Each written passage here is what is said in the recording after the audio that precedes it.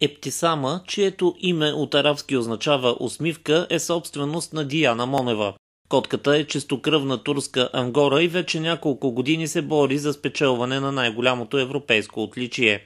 Титлата не се връчва след еднократно спечелена изложба, а е необходимо котката да получи 9 първи места от надпревари в поне 3 европейски страни. Такова нещо наистина много-много трудно, много трудно и много упорито се иска за да се постигне. Много трудно начинание, но мога да кажа, че все още се гордея. все още се гордея и, и съм много радостна на това, което се получи. Диана Монева е единствената българка, която отглежда турски ангорски котки. Има още няколко екземпляра от нейния развъдник в страната и чужбина. Красивите бели четириноги печелят безброй награди в цял свят. Дъщерята на Ептисама Карима е считана за най-перспективната българска котка.